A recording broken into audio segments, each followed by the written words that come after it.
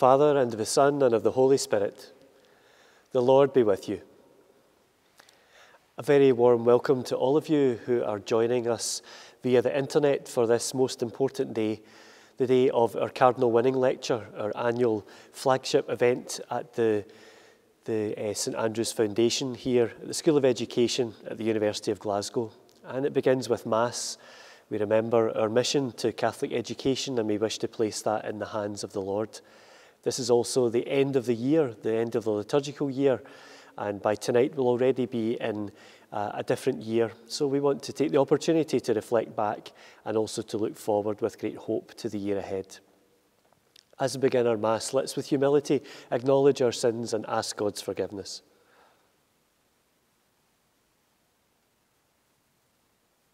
You were sent to heal the contrite of heart. Lord, have mercy. You came to call sinners. Christ, have mercy. You are seated at the right hand of the Father to intercede for us. Lord, have mercy. May Almighty God have mercy on us, forgive us our sins, and bring us to everlasting life. Let us pray.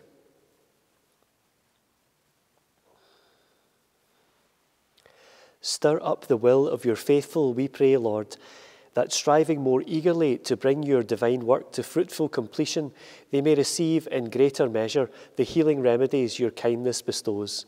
Through our Lord Jesus Christ, your Son, who lives and reigns with you in the unity of the Holy Spirit, one God, for ever and ever. Amen. A reading from the book of the Apocalypse. The angel showed me, John, the river of life, rising from the throne of God and of the Lamb and flowing crystal clear down the middle of the city street. On either side of the river were the trees of life, which bear twelve crops of fruit in a year, one in each month, and one of the leaves are which are the cure for the pagans. The ban will be lifted. The throne of God and of the Lamb will be in its place in the city. His servants will worship him, they will see him face to face, and his name will be written on their foreheads. It will never be night again and they will not need lamplight or sunlight, because the Lord of God will be shining on them. They will reign for ever and ever. The angel said to me, All that you have written is sure and will come true. The Lord God, who gives the Spirit to the prophets, has sent his angel to reveal to his servants what is soon to take place. Very soon now, I shall be with you again. Here are those who treasure the prophetic message of the book. The word of the Lord. The response to the psalm is Maranatha, come, Lord Jesus. Come, ring out our joy to the Lord, hail the rocks who save us. Let us come before him giving thanks. With songs, let us hail the Lord. Maranatha, come, Lord Jesus. A mighty God is the Lord, a great King above all gods. In his hands are the depths of the earth the heights of the mountains are his. To him belongs the sea, for he made it, and the dry land shaped by his hands. Maranatha, come, Lord Jesus. Come in, let us bow and bend low. Let us kneel before the God who made us. For he is our God, and we, the people who belong to his pasture, the flock that is led by his hand. Maranatha, come, Lord Jesus. Alleluia. Alleluia. Stay awake and stand ready, because you do not know the hour when the Son of Man is coming. Alleluia.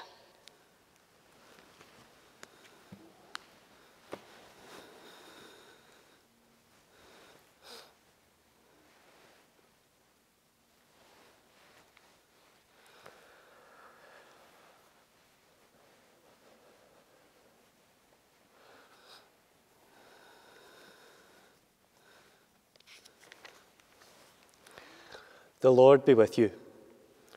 A reading from the Holy Gospel according to Luke. Jesus said to his disciples, Watch yourselves, or your hearts will be coarsened with debauchery and drunkenness and the cares of life, and that day will, spring, will be sprung upon you suddenly like a trap, for it will come down on every living man on the face of the earth. Stay awake, praying at all times for the strength to survive all that is going to happen and to stand with confidence before the Son of Man. The Gospel of the Lord.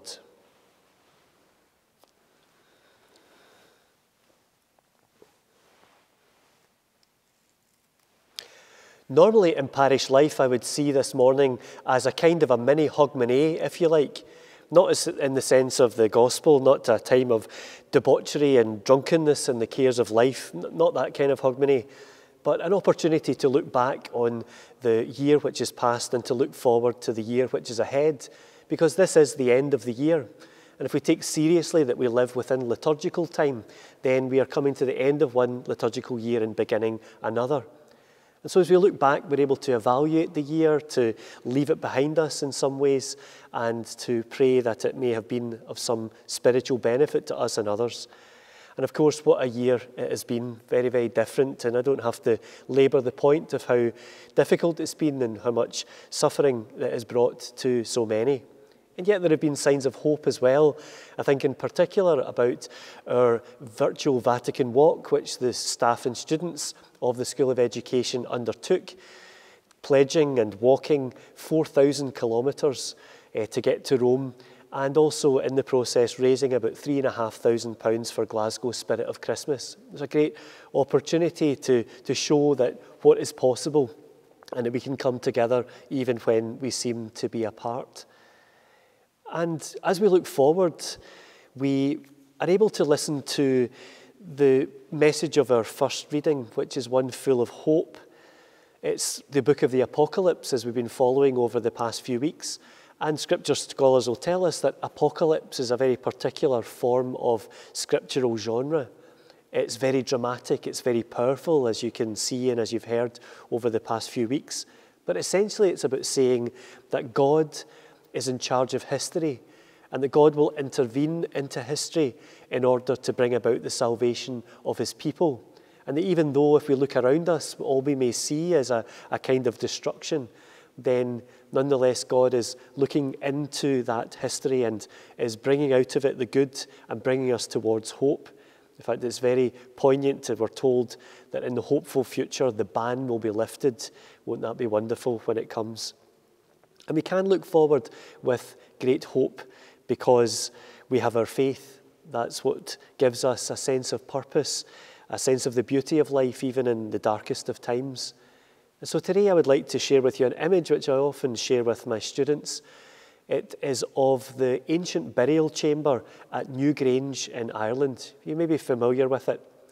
Newgrange is quite amazing because it's a, a very low burial chamber, um, very ancient. And it has a passageway which goes down from the outside down into the central chamber, which is where whoever it was who was buried there was buried.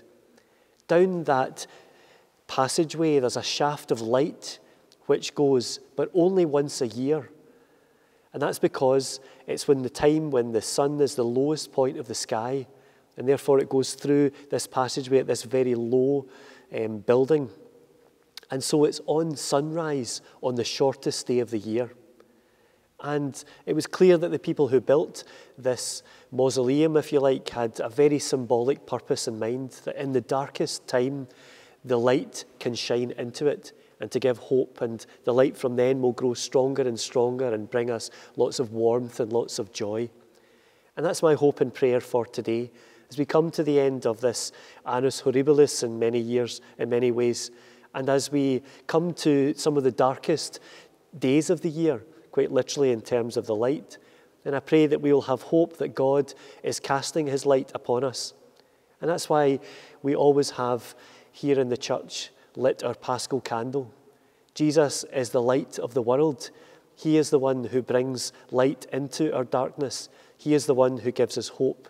He grows greater as we grow lesser as the year goes on from his birth at Christmas. May his light, the light of the risen Christ, shine into our lives and into our hearts, giving us hope for a brighter future.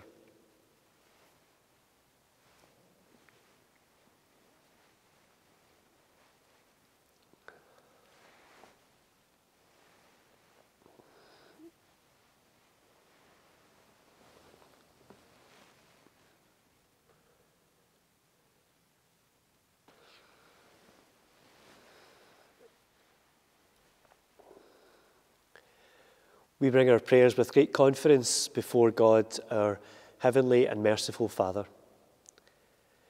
We pray for Pope Francis.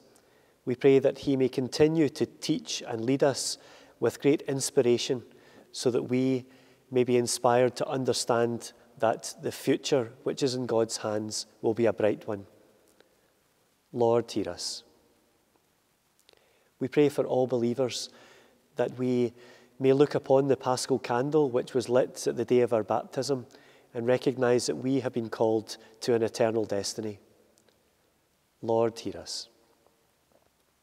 We pray for our country of Scotland, and particularly in this month in which we have been celebrating the feast of St. Margaret of Scotland and St. Andrew of Scotland. We pray that the light of Christ may shine upon our shores as it did so long ago through the work of St. Ninian and St. Columba, and may we keep the flame of faith alive in our hearts. Lord, hear us. We pray for the University of Glasgow, for the School of Education, and for the St Andrews Foundation. May we seek inspiration from Jesus Christ, light of the world, the way, the truth, and the life. Lord, hear us. We pray for our Catholic schools and all who work in Catholic education around the world. And we pray that through carrying the light of knowledge, but also of faith, that they may illuminate the young people in their care. Lord, hear us. And finally, during this month of November, we remember all of those who have gone before us, marked with the sign of faith, that the seed of eternal life placed in them at baptism may be coming to its fruition. Lord, hear us. Almighty Father, we thank you for the new year which lies ahead of us. We pray that we may be open in mind and heart to listen to your word and to put it into practice. We ask this through Christ our Lord.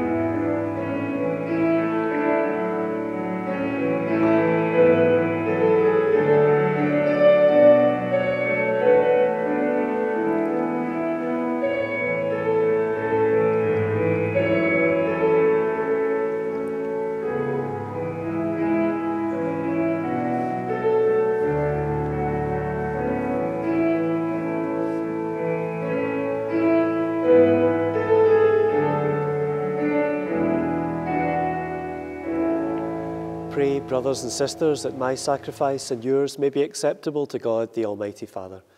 May the Lord accept the sacrifice at your hands for the praise and glory of his name, for our good and the good of all his holy church.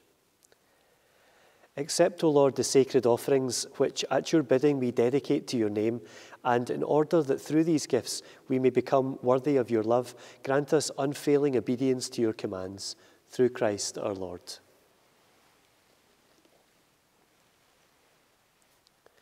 The Lord be with you.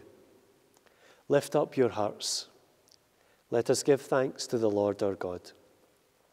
It is truly right and just that we should always give you thanks, Lord, Holy Father, Almighty and Eternal God, for you do not cease to spur us on to possess a more abundant life, and being rich in mercy, you constantly offer pardon and call on sinners to trust in your forgiveness alone. Never did you turn away from us, and though time and again we have broken your covenant, you have bound the human family to yourself through Jesus Christ our Redeemer, with a new bond of love so tight that it can never be undone. Even now you set before your people a time of grace and reconciliation, and as they turn back to you in spirit, you grant them hope in Christ Jesus and a desire to be of service to all, while they entrust themselves more fully to the Holy Spirit. And so, filled with wonder, we extol the power of your love, and proclaiming our joy at the salvation that comes from you, we join in the heavenly hymn of countless hosts, as without end we acclaim. Holy, holy, holy Lord God of hosts, heaven and earth are full of your glory. Hosanna in the highest. Blessed is he who comes in the name of the Lord. Hosanna in the highest. You are indeed holy, O Lord, and from the world's beginning are ceaselessly at work, so that the human race may become holy just as you are holy. Look, we pray, upon your people's offering and pour out on them the power of your Spirit, that they may become the body and blood of your beloved Son, Jesus Christ, in whom we too are your sons and daughters. Indeed, though we once were lost and could not approach you, you loved us with the greatest love. For your Son, who alone is just, handed himself over to death and did not disdain to be nailed for our sake to the wood of the cross. But before his arms are outstretched between heaven and earth to become the lasting sign of your covenant, he desired to celebrate the Passover with his disciples. As he ate with them, he took bread, and giving you thanks, he said the blessing, broke the bread, and gave it to them, saying, Take this, all of you, and eat of it, for this is my body, which will be given up for you.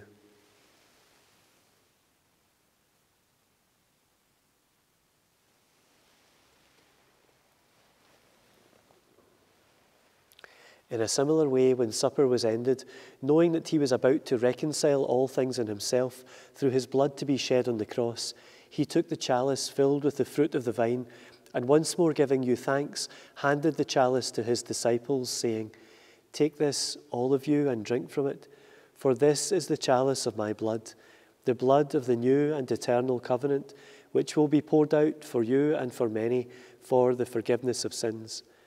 Do this in memory of me.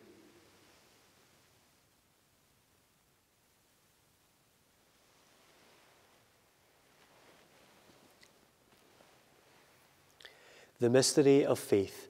When we eat this bread and drink this cup, we proclaim your death, O Lord, until you come again.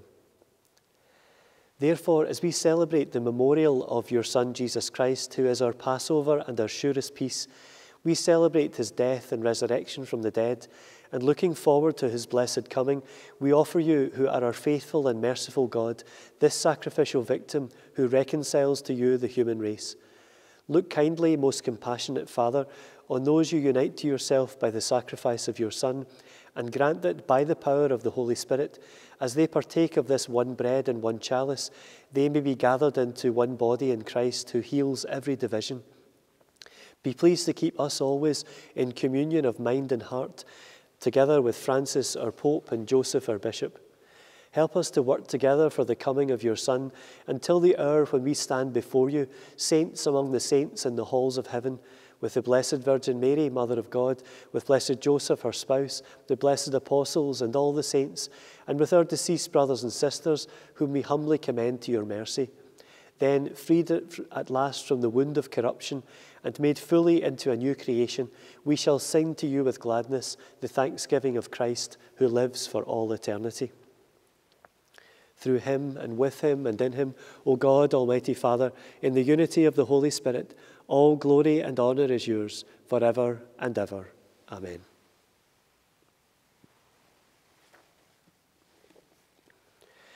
At the Saviour's command, informed by divine teaching, we dare to say, Our Father, who art in heaven, hallowed be thy name. Thy kingdom come, thy will be done on earth as it is in heaven. Give us this day our daily bread, and forgive us our trespasses, as we forgive those who trespass against us. And lead us not into temptation, but deliver us from evil. Deliver us, Lord, we pray, from every evil. Graciously grant peace in our days, that by the help of your mercy we may be always free from sin and safe from all distress as we await the blessed hope and the coming of our Saviour, Jesus Christ. For the kingdom, the power, and the glory are yours now and forever. Lord Jesus Christ, who said to your apostles, Peace I leave you, my peace I give you, Look not on our sins, but on the faith of your church, and graciously grant her peace and unity in accordance with your will, who live and reign forever and ever. Amen. The peace of the Lord be with you always. Lamb of God, you take away the sins of the world, have mercy on us.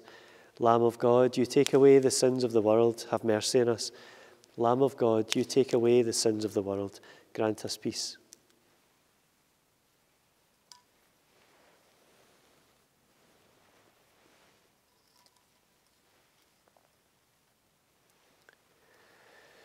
Behold the Lamb of God. Behold him who takes away the sins of the world. Blessed are those called to the supper of the Lamb. Lord, I am not worthy that you should enter under my roof, but only say the word, and my soul shall be healed.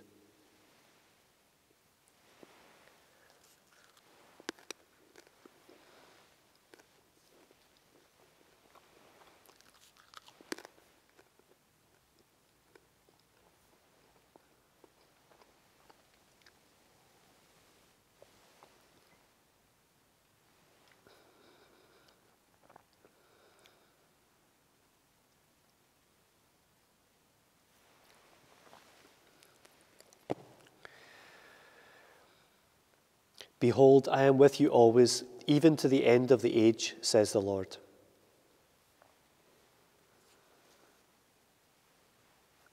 For those of you watching at home, I'd like to pray with you our act of spiritual communion. My Jesus, I believe that you are present in the Blessed Sacrament. I love you above all things and desire you in my soul. Since I cannot now receive you sacramentally, come at least spiritually into my heart. As though you were already there, I embrace you and unite myself wholly to you. Permit not that I should ever be separated from you. Amen.